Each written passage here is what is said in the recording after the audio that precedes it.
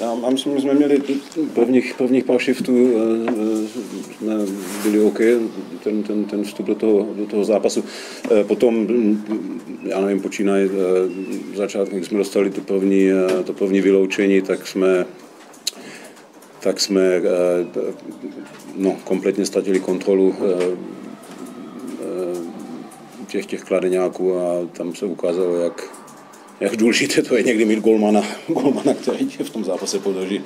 My jsme se, eh, tam jsme měli samozřejmě no, nevím, štěstí, no, že jsme, si, jsme šli do kabiny a bylo to, bylo to 0-0 po první třetině. Potom jsme to srovnali, potom jsme hráli uh, asi to, co umíme, uh, dvě třetiny a uh, protože se to tak vyvinulo, jak to bylo, tak to fakticky potom šlo o to, kdo, kdo dá ten první gol a my jsme měli potom to štěstí, že nám to tam spadlo a byli jsme schopni to, to, to udržet a, a dohrát, dohrát do konce. Znamená, jinak si myslím, že tam intenzita byla, byla OK, to, ten zápas byl, byl dobrý a, a pro nás to jsou samozřejmě cené body. Děkuju, požádám Zdenka Vojtu.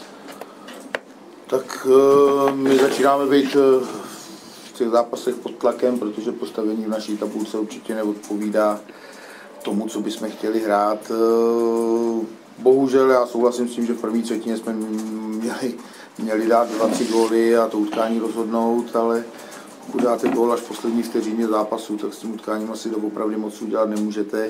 Pokud nejste dozadu absolutně bezchybní a my jsme v dnešním zápase dozadu opět absolutně bezchybní nebyli a bohužel jsme dostali dva góly o jeden gól víc, než jsme dali a, a připisujeme si další ztrátu v domácím prostředí. Děkuju. Prostor pro vaše dotazy. Já jste zkoušel eh, dát od sebe ten káta s paterou. Jak jste s tím spokojený s tímhle krokem?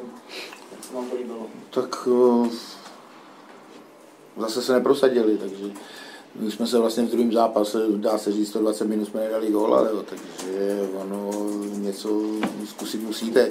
Pokud v zápase nedáte góla, ta hra určitě není, není, jejich hra není optimální, takže jsme to zkoušeli rozhýbat. První třetinu si myslím, že to šlo, ale potom eh, se na, naši, na naše hole vkradla nervozita. Chybovali jsme úplně v základních eh, přihrávkách, nepřesnost přihrávek a tak dále. No, takže musíme hledat dál. Díky. Ještě doplním,